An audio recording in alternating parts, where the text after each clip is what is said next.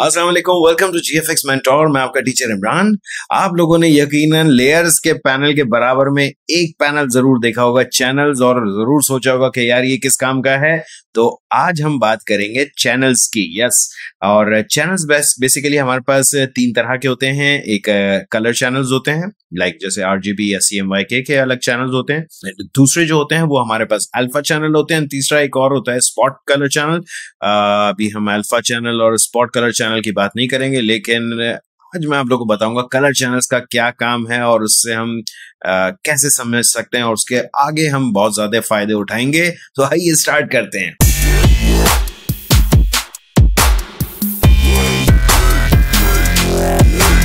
Right welcome back so first of all तो ये देखें, यहाँ पर मैंने एक बड़ा कलरफुल सा पैरेट है और इसके मैंने इमेज रखी हुई है। बहुत ही हाई क्वालिटी बहुत खूबसूरत है और बहुत ही प्यारे कलर्स इसमें मौजूद हैं। और इस इमेज को लेने का पर्पज यही है कि आज हम देखने वाले हैं चैनल्स चैनल्स का पैनल होता है आपके यहाँ लेयर्स के बराबर में ये रहा चैनल्स सो बाय डिफ़ॉल्ट आपके पास, अब जैसे ये इमेज आरजीबी है तो आपको रेड ग्रीन ब्लू यानी आरजीबी का कंपोजिट इमेज दिख रहा होगा।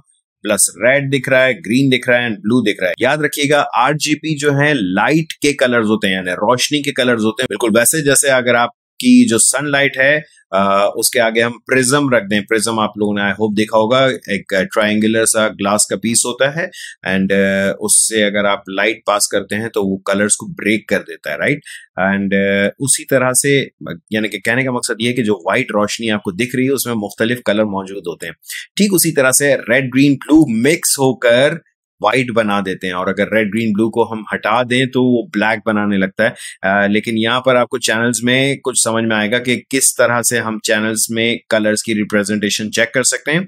सो लेट से अगर मैं रेड पर क्लिक करता हूँ तो ये उन एरियाज़ को व्हाइट दिखा रहा है जहाँ पर रेड की मौजूदगी है यानी कि रेड की प्रेजेंस है यहाँ पर। सो so, अगर ग्रीन पे जाता हूँ तो जहाँ ग्रीन स्पॉट्स हैं वो आपको ब्राइट दिख रहा होगा और जहाँ ब्लू है ब्लू पे अगर जाता हूँ तो ब्लू वाला एरिया आपको व्हाइट दिख रहा होगा। और से देखें तो ये आपका पूरा ब्लू है ये ग्रीन है और यहाँ पर ऑफ़ कोर्स ऑरेंज ज़रूर है लेकिन ऑरेंज याद रखिएगा रेड से ही मिलके बन रहा होता है। यानी रेड और ग्रीन को अगर हम मिलाते हैं तो ऑरेंज बनता है। इसी वजह से ग्रीन में भी थोड़ा सा यहाँ पर ब्राइटनेस आपको दिख रही है राइट सो बेसिकली ये बस दिमाग में रखें कि हम किसी भी कलर की इंफॉर्मेशन यहाँ से देख सकते हैं। अब ऑफ़ कोर्स इसके साथ हम और भी बहुत कुछ कर सकते हैं लेकिन अभी के लिए मैं सिर्फ़ आप लोगों को समझाना चाह रहा हूँ आर है क्या? ये डिफरेंट कलर्स को मिला करके आपके सारे कलर्स बन रहे होते हैं। Now, इस चीज़ को बहुत बेहतर तरीके से और मैं समझाने के लिए एक फ़ाइल ले रहा हूँ। सिंपली किसी भी साइज़ की फ़ाइल ले लें। से मैं eight hundred by eight hundred की पिक्सल्स की फ़ाइल ले रहा हूँ। एंड लेट सपोज़ इसमें मैंने फिल कर दिया ब्लैक कलर अब याद रखिएगा रेड ग्रीन एंड ब्लू ये लाइट के कलर्स हैं रोशनी के कलर्स हैं। और इन कलर्स को पूरा मिलाएँगे पूरा हंड्रेड परसेंट करेंगे तो आपका व्हाइट बनता है। और इनको अगर खत्म कर देंगे तो आपका ब्लैक बनता है। सो so, जैसे मैंने यहाँ पर ब्लैक फिल किया तो यहाँ देखें रेड ग्रीन एंड ब्लू तीनों ब्लैक हुए हुए राइट अगर मैं अंडू कर दूँ तो यहाँ देखें red green and blue purely white हुए हुए राइट ना इसको मैं दोबारा से मैं ब्लैक कर रहा हूँ। सो so, अगर मैं अपने रेड चैनल में आकर के ब्रश से एक हार्ड ब्रश लेकर के मैंने सिंपली यहाँ पर आके अगर एक क्लिक कर दिया तो एक सर्कल यहाँ बन जाएगा। और अगर आप अपने इमेज में जाके देखें यानी आरजीबी कंपोजिट में देखें तो आपको रेड कलर का सर्कल दिख रहा है। देखें जबकि मैंने यहाँ पर लगाया था व्हाइट कलर राइट नाउ अगर मैं ग्रीन में जाकर के एक सर्कल बना देता हूँ इस जगह पे तो अब आपको दिख रहा है ग्रीन यहाँ पर और मज़े की बात, इन दोनों के मिक्स होने पर आपका बन रहा है येलो राइट और अब आ जाए ब्लू पर। अगर मैं ब्लू पे क्लिक कर दूँ तो ये आपका ब्लू बन जाएगा एंड मज़े की बात देखें यहाँ पर कि ग्रीन एंड रेड मिलने पे येलो बन रहा है ग्रीन एंड ब्लू मिलने पे सियान बन रहा है ब्लू एंड रेड मिलने पर मजेंटा बन रहा है। सो ये वही है सियान मजेंटा एंड येलो सो याद रखिएगा आरजीबी से ही सारे कलर्स मिल रहे हैं और सारे कलर्स बन रहे हैं। आरजीबी में सबसे ज़्यादा कलर्स मौजूद होते हैं। कितने कलर्स मौजूद होते हैं, इसको भी अभी मैं समझाता हूँ आप लोगों को। पहले यहाँ तक अगर आप लोगों को समझ में आ गया तो फिर आगे बढ़ते हैं और खास तौर के एक और बात कि देखें आरजीबी के तीनों के मिलने पर यहाँ सेंटर में आपके पास व्हाइट बना हुआ है।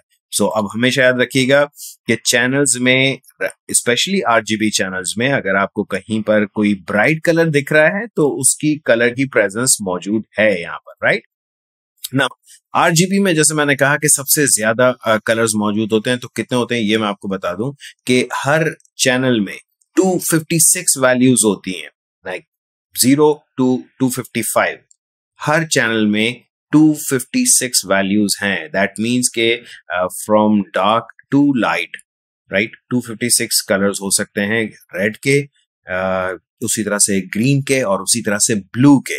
और इन तीनों को अगर हम आपस में मल्टीप्लाई करें याद रखें एल्जेब्रा में भी आप लोगों ने देखा होगा एक्स और वाई अगर साथ लिखा होता था तो वो आपस में मल्टीप्लाई होते थे. एग्जैक्टली exactly उसी तरह से आर जी बी साथ लिखा हुआ है और इन तीनों की वैल्यूज़ जो है 256 है. और तो 256 मल्टीप्लाई बाय 256 मल्टीप्लाई बाय 256 बनते हैं 16.7 मिलियन कलर्स एग्जैक्टली ये आप लोगों की वही वैल्यू है जो आप लोग कई मरतबा मोबाइल फ़ोन खरीदते वक्त स्क्रीन की स्पेसिफिकेशंस में देखते हैं कि 16 एम कलर्स हैं या नहीं. सो so, यस yes, आपके 16.7 मिलियन कलर्स होते हैं आरजीबी में. सी एम वाई के चार कलर से मिलकर बनता है लेकिन उसमें कम कलर्स होते हैं.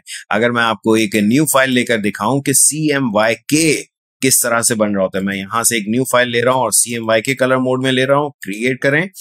अब यहाँ का सिलसिला थोड़ा सा डिफरेंट है। याद रखिएगा सी एम वाई के लाइट के कलर्स नहीं है। ये इंक के या पिगमेंट के कलर्स हैं और पिगमेंट के कलर्स और लाइट के कलर्स में बहुत बड़ा फ़र्क है। याद रखिएगा पिगमेंट कलर्स वो कलर्स होते हैं जो किसी सरफेस पर लगाए जा सकते हैं।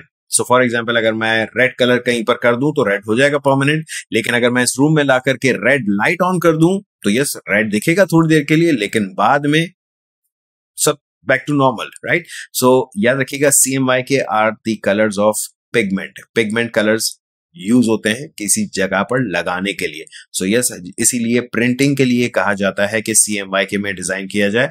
दूसरी बात इसमें वो कलर्स पॉसिबल हैं जो प्रिंटेबल हैं। आरजीबी में बेतहाशा कलर्स हैं बहुत ज़्यादा कलर्स हैं उसमें से बहुत सारे ऐसे कलर्स हैं जो कि प्रिंट पॉसिबल ही नहीं है।